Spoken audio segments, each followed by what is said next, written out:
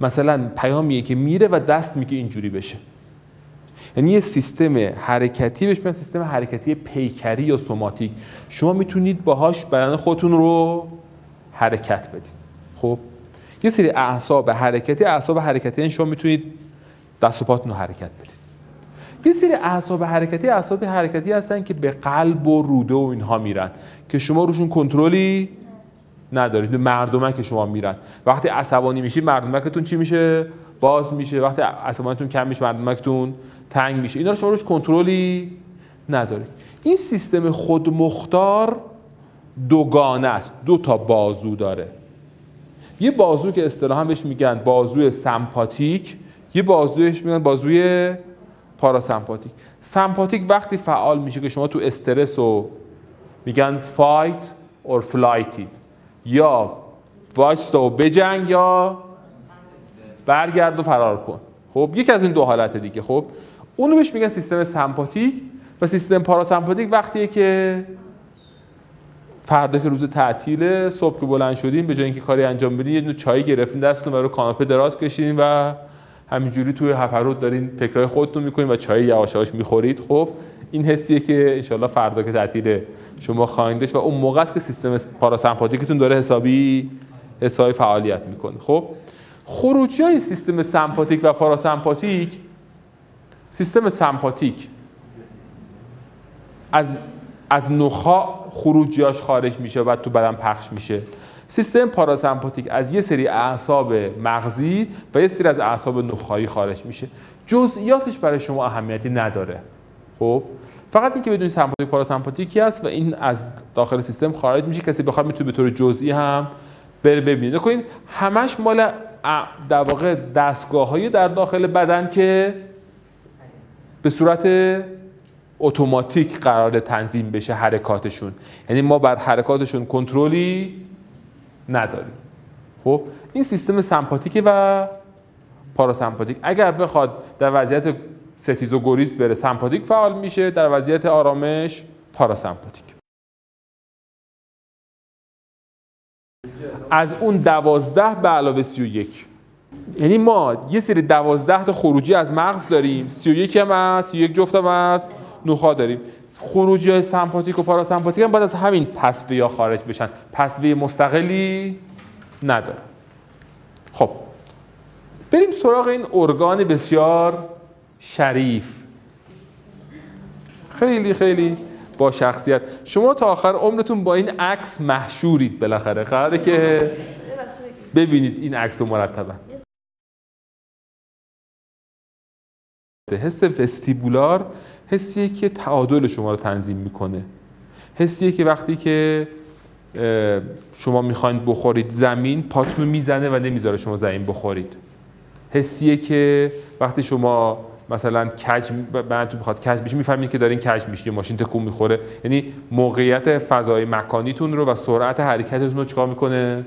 تنظیم می‌کنه. بحث ما الان نیست. من یکم وقتی راجع به شنوایی صحبت کنم یکم راجعش تو فصل بعد راجع به این صحبت خواهیم کرد. خب برگردیم به عضو شریف و بسیار با شخصیت مغز. اون چیزی که بعضیا بیشتر دارن بعضیا بعضی هم بازم بیشتر دارن ولی کمتر استفاده می‌کنن خب؟ ولی بالاخره یه عضو خیلی خیلی شریفه. یا بعضی از یه جاهایش بیشتر استفاده می‌کنن بعضی از جاهای دیگهش بیشتر استفاده می‌کنن. بالاخره یه عضو خیلی محترمیه. گفتیم قسمت پیشانی رو میگیم فرونتال parietal قسمت آهیانه گیجگاهی temporal پس سری occipital و مخچه که بهش میگیم cerebellum. به مغز میگیم cerebrum به مخچه میگیم؟ cerebellum. در واقع اون مخ این چیه؟ مخچه در واقع این cerebrum این cerebellum. یعنی bellum که میشه جوری مثل این پسوند تصغیره یه جورایی اون مخ این چی؟ مخ کوچیک مثلا. خب؟ برای دقت کنید که چقدر فرونتال این طرف چی بوده؟ پروپیمون بوده. یعنی فرونتال آبرومند داره واقعا یعنی آره به اندازه کافی خدا بهش فرونتال داده. واقعا از نعمت ها فرونتال چی داشته باشه؟ چاق و چله داشته باشه. خب ما راجع به لندمارک های این با هم قبلا صحبت کردیم ولی یه بار دیگه باز با هم مرور بکنیم. نگاه کنید یک lateral fissure وجود داره و یک central sulcus وجود داره. خب که این اجزا رو از هم جدا می‌کنن. central sulcus و lateral fissure. گفتیم central sulcus قسمت جلویش حرکتی قسمت پشتیش چیه؟ حسیه. با هم راجع صحبت کردیم. خب ما گفتیم یه نیمکره چپ داریم. که این نیمکره چپ کارش چیه؟ نیمکره چپ چیکار می‌کنه؟ ما باش حرف می‌زنیم. وربال ما به طور عادی ماها وربال اون سمت چپ. حرف که می‌زنیم دست بدیم تکون می‌خوره ها؟ داره داره کار می‌کنه. خب قراره که وقتی که ما حرف می‌زنیم وربالمون چیکار کنیم؟ سمت چپ کار بکن. خب دیگه چیکار انجام میده سمت چپ؟ تحلیل های آنالیتیک و سکوئنشال و متمتیکال و اینها رو اون سمت انجام میده. و یک سمت راستی وجود داره که اکثرا نان وربال پردازش های ایموشنال رو بیشتر انجام میده و اون تون کلام رو گفتیم ایجاد می‌کنه. اون تونی که آدم توش احساس می‌کنه که چقدر مهربانانه است چقدر همراه با غروره یا چقدر همراه با مثلا نمی‌دونم نفرت ها؟ یا چقدر وقت دارن راجع به امتحان صحبت می‌کنن همراه با عشق و علاقه به به اون درس و امتحان. خب یعنی شما از تون صحبت دوستان راجع به امتحان می‌فهمید که چقدر به امتحان آره علاقه مند هستن. خب این اون چیزیه که سمت راست مغز آدم ها ایجاد آدم ها با هم فرق می‌کنن. جالب لزوما هم به راست دستی و چپ دستی هم ربطی نداره. یعنی ممکنه که این organization در, در مغز آدم ها با هم با هم فرق کنه. و جالبه که بعضی از function ها highly lateralized ن یعنی خیلی خیلی جدی در یه نیمکره انجام میشن در یه نیمکره انجام نمیشن. مثل مثلا زبان. خب؟ ولی خیلی از function ها هستن که لزوما lateralize اونقدر lateralize نیستن. مثلا memory ما میگیم تو هیپوکامپه ولی آنچنان memory lateralize نیست. یعنی درست بعضی از افراد هستن که memory هیپوکامپ راستشون هیپوکامپ چپشون بیشتر فعاله.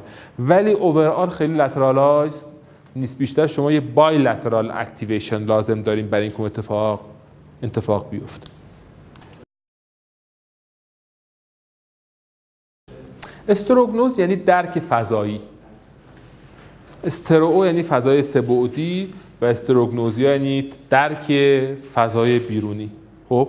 در واقع میگه نیمکره چپ سمت راست فضا رو درک می‌کنه و نیمکره راست سمت چپ رو. و جالبه که اونهایی که همین نواحی parietal شون این parietal cortex اون نواحی که مربوط به سمت اینا مربوط به این کورتکس راست به سمت چپه. اگه این ناحیه کورتکس من آسیب ببینه تو سکته مغزی من این سمت نیمکره رو انگار نگلکت می‌کنم انگار نادیده می‌گیرم. آدم هایی که این ناحیه مغزشون سکته می‌کنه به مقدار خیلی جالبی. وقتی شما غذا جلوشون می‌ذارید فقط نصف بشقاب رو می‌خورن. حتی وقتی میرن صورتشون رو میتراشن نصف صورتشون رو میتراشن. آرایش نصفه انجام میدن.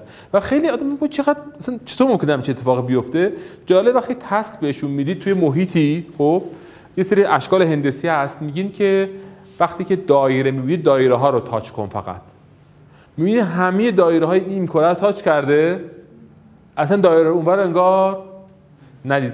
می‌بینه ها یعنی اونور رو می‌بینه هر اتفاقات اونور می‌بینه اینجوری نیست که نصف میدان ببینه ولی در نهایت قضاوت سه‌بعدی از اونور نداره. گفتیم اون قسمت parietal cortex ی قرار اطلاعات همش تو اونجا integrate بشه تحلیل بشه.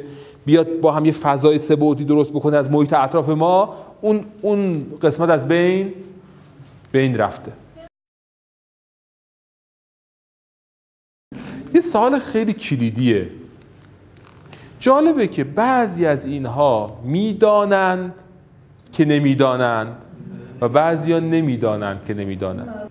یه سوال کلیدی همیشه این هست که اون گروهی که بیدانند که نمی‌دانند و اون گروهی که نمی‌دانند که نمی‌دانند کجا مغزشون فرق کرده؟ یعنی مثلا آسیب اون گروه اول کجاشون آسیب خورده؟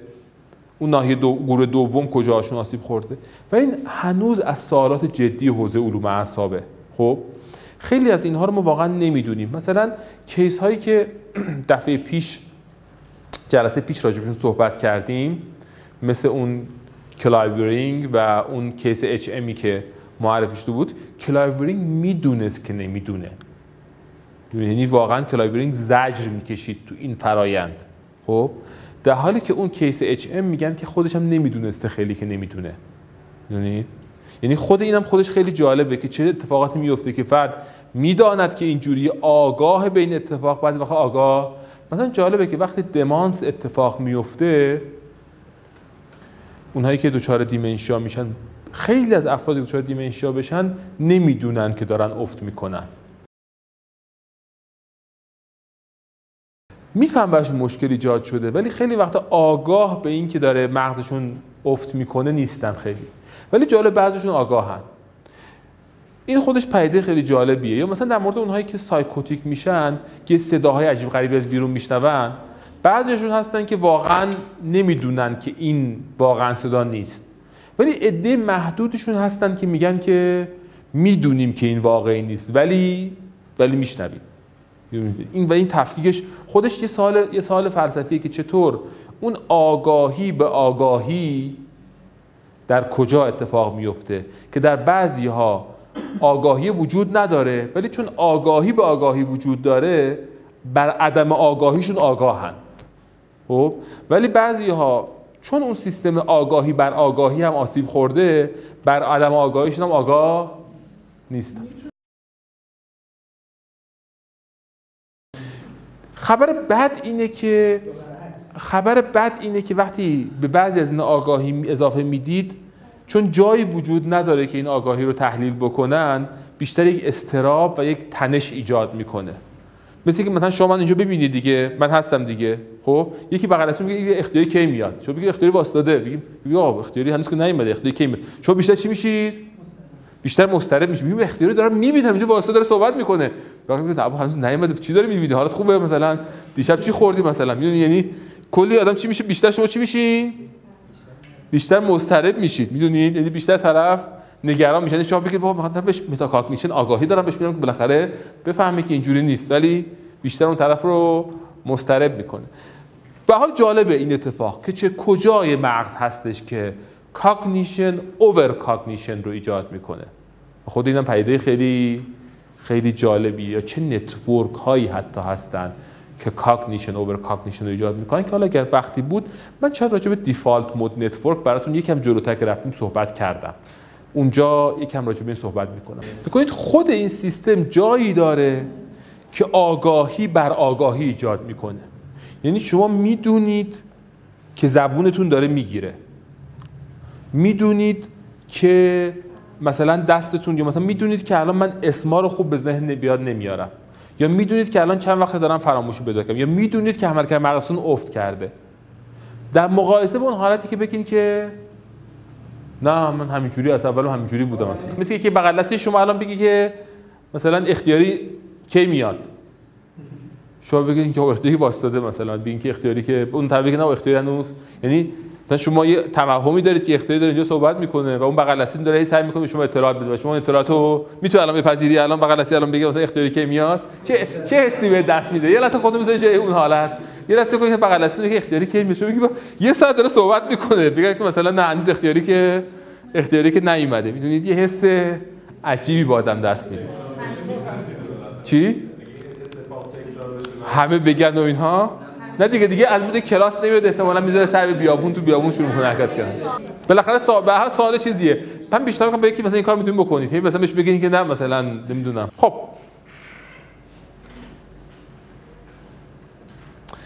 راجع به این جلسه پیشم صحبت کردیم جلسات پیش که اگر این مغز رو ما دوپاره کنیم بیایم کورپوس کالوزوم چیکار کنیم؟ قطع کنیم چه اتفاقات جالب یا غیر جالبی میفته. خب؟ و گفتیم که بالاخره این دو دوگانگی مغز می‌تونه اتفاقات جالب یا غیر جالبی رو ایجاد بکنه که من چون جلسه ای راجبش صحبت کردم راجب به مغز دو پاره یا اسپلیت برین صحبت کردم دیگه امروز نمی‌خوام بهش پردازم ولی بالاخره بحث بحث مهمی. خب یه نکته بسیار جالب وجود داره و اینه که این مغز این قشر مخ بسیار محترم خب این قشر مخ بسیار محترم یه ماده خاکستری چند میلیمتری داره که ماده خاکستری چند میلیمتری شش لایه سلول داره که این شش لایه هر کدوم یه کارهای خاصی هم می‌کنن. مثلا نگاه کنید یه سری از اعصاب هستن که از تالاموس میان تو این لایه ها میان. اون نورون هایی که پیام به تالاموس میدن تو لایه ششمن اون نورون هایی که پیام میدن به سیستم حرکتی به سیستم اسپاینال به نخا و بعد به دست ها اینا تو لایه چا... تا لایه پنجم قرار گرفتن اینجا. این همونایی که چقدر گندن و همچنین چا... نورون های خیلی بزرگی هن. اینها که نورون های پیرامیدالی هستن که پیام می‌خوان بدن به حرکت ما. خب تو لایه پنجم مثلا اونهایی که پیام میدن به اون ور قشر مخ تو لایه سوم اونهایی که به نواحی از خود همون قشر مخ در همون سمت دارن پیام میدن توی لایه دوم لایه اول هم بیشتر اتصاله. بهش میگن نوروپیل. انگار یه شبکه در هم تنیده ای از آکسون و دندریت و اینها تو هم فرو رفته. یه حالت مثل مثلا یه نمد مانندی. یه نمدی از رشته های عصبی. پر کرده لایه یک رو. و جالبه که این ساختار ششگانه در تقریبا همه کورتکس یه اساس یکسان داره. یک کم عوض میشه ولی اساسش همینه. و گفتیم که همین ساختار ششگانه کل پردازش های اطلاعات قشر مخ رو انجام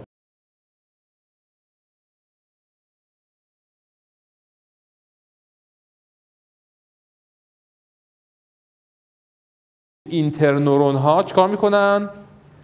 افقی خب اینترنورون ها چی هن؟ افقی به خاطر همینه که جریان الکتریسیتی که تو این حرکت می‌کنه اینجوریه عمود به مرکزه. به خاطر وقتی الکترود می‌ذاریم روی قشر مخ الکتریسیتی که داره از الکترود دور یا نزدیک میشه رو می‌تونه از الکترود ثبت کنه. یعنی الکترود این اکتیویتی رو داره ثبت می‌کنه.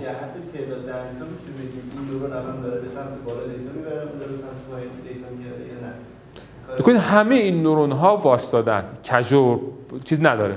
همشون واسطادن. یعنی همشون در نهایت خروجشون به پایین ورودشون از بالاست. خب؟ فقط یه عده اینجا واسطن یه عده اینجا یه عده اینجا واسطادن ورودی ها میان به اینا وارد میشن و از اینجا خارج میشن. اینجوری نیست که برعکس باشن. همشون ایستادن. خب. کورتکس از بالا پایین نیست. ساخت. ساختارش رو داریم میگیم ترتیب. ولی خب گفتیم اطلاعات چیه؟ اطلاعات اینجوری جابجا میشه. خب. بله بله. بله بله. ببین لایه های ارتباط هست. بین نورون های هر لایه ارتباط هست. خب؟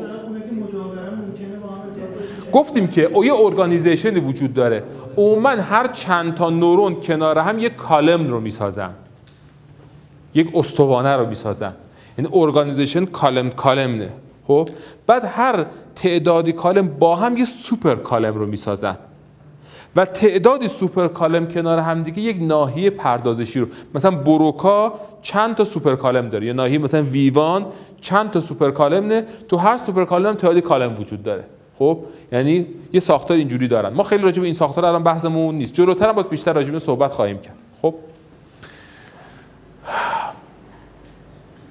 یکی از اون آدم هایی که خیلی تو این زمینه تو شناخت ما از کورتکس نقش موثری داشته یه شخصی به اسم وایلدر پنفیلد. آقای وایلدر پنفیلد جراح اعصاب بوده. اونهایی که تشنج داشتن رو عمل می‌کرده حالا کار مختلفی می‌کرده مثلا نمی‌دونم مغزشون رو یه برش کوچیک corpus callosum میدوده قطع می‌کرده کلا یا بالاخره تیکه از مغزشون رو که اضافه بوده برمیداشته. خب؟ ایشون تو مطالعات خودش دیده که وقتی که میاد یه قسمتی از کورتکس رو تحریک می‌کنه یه رفتارهای خاصی اتفاق میفته مثلا وقتی اینجای کورتکس مثلا این سمت تحریک می‌کنه دست شروع می‌کنه حرکت کردن. تشخیص داده که روی کورتکس این ناحیه زردی که من الان دارم نشون میدم که کورتکس حرکتی اولیه است. هر ناحیهش وقتی تحریک می‌کنه یه جای باید تکون می‌خوره. مثلا وقتی این نواحی وسطی رو تحریک می‌کنه پای فرد تکون می‌خوره. میاد اینجا رو تحریک می‌کنه دست شروع می‌کنه تکون خوردن. این جاهای مختلف شروع می‌کنه. وقتی میاد اینجاها رو تحریک می‌کنه زبان و اینها شروع می‌کنه تکون خوردن. یعنی هر جایی از این قشر مسئول یک یک یک عضله خاصی تو بدنه. خب؟ و بعد میاد اینو می‌کشه. روی قشر مخ نشون میده اینجا مال انگشت پاست. اینجا مال کمره اینجا مال دست. و یه جاهایی تو این آدمکی که این می‌کشه روی قشر مخ انگار بزرگترن. چرا؟ چون عضلات بیشتر دارن و حرکاتشون چیه؟ سختتر و پیچیده‌تره به خاطر این جای بزرگتری رو قشر مخ می‌گیرن. به این میگن هومونکولوس یا آدمک حرکتی. همین کار رو هم توی سیستم حسی می‌کنه. میینه سیستم حسی هم یه هومونکولوس داره رو قسمت صورتی. پس قسمت حسی میشه یه سنسوری هومونکولوس و این میشه یک موتور هومونکولوس خب؟ ایشون از افرادی بوده که توی یه جای به اسم مونترال نورولوژیکال اینستیتوت یا MNI فعالیت می‌کرده. که MNI یکی از بزرگترین مراکز حوزه علوم اعصاب هم هست الان توی دنیا. حدود نزدیک 80 سالی سابقه فعالیت داره و فکر می‌کنم بیش از 300 تا هیئت علمی حوزه نوروساینس فقط داره. و خب از اون جاهایی که مرکز معروفیه که توی تو کانادا کار می‌کنن الان یه ساختمون جدیدی هم شروع کردن بهش دارن اضافه می‌کنن. جالبه که من که رفته بودم اونجا چند وقت پیش دو تا ساختمون جدید که میساختن یه پارک جلوی ساختمون بود اونو تخریب کرده بودن. تو اون پارک یه وقتی که داشتن ساختمون اولیه رو میساختن یه کپسولی درست کرده بودن و بعد اون آدمایی که فاوندر اونجا بودن یه نامه ای رو نوشته بودن که ما اینجا رو برای چی می‌سازیم؟ هدف اون ساخت اینجا چیه؟ آرزوهامون چیه و فلان اینها. بعد خود همین هفتاد خورده سال که داشتن اون اونجا رو گل برای می‌کرد این مثلا time capsule رو در آورده بودن بازش کرده بودن. یه دور و کل اون محتواش و اینها رو پرینت گرفته به در دیوار اونجا زده بودن که ما اصلا واقعا اینجایی که شما دارین توش کار می‌کنید با چه هدفی 80 سال پیش ساخته شده و دفعه چی بود؟ دوباره اینو بسته بودن دوباره چیز کردن دوباره زیر اون ساختمان جدیدی که داشتن میساختن در حال ساخت بودن حالا چقدر تموم شده؟ 2009 2010 من اونجا بودم. در حال چیز بود در حال یعنی تازه گود برداری کردن میساختن و اینها. زیر اون دوباره گذاشتن که حالا باز دوباره مثلا یه قرن بعد دوباره در بیارن. چند نامه جدید هم بهش اضافه کرده بودن که مثلا ما با این هدف داریم توسعه میدیم. یه جورایی بالاخره فضای رشد دانش مقدار زیادی آرزوهای آدمهای خیراندیشی که دوست دارن بالاخره این حوزه ها رشد کنن. میگم زیر پژوهش کردم یه از این چیزا. آره جلو باغچه مثلا چیزی خاک کنیم بالاخره. 50 سال بعد بیان در بیارن اینها بگن که این شکلی بوده ما راجع صحبت می‌کرد آره بیرون باغچه داره یه باغچه. آره آره باغچه داره. خب پس بهش میگن به اینجا میگن MNI من گفتم که خیلی مهمه که ما در طول جلسات ما راجع به می‌خوایم صحبت کنیم هر جلسه که یکی دو تا از مؤسسه اصلی رو هم شما بشناسید. MNI زیر مجموعه دانش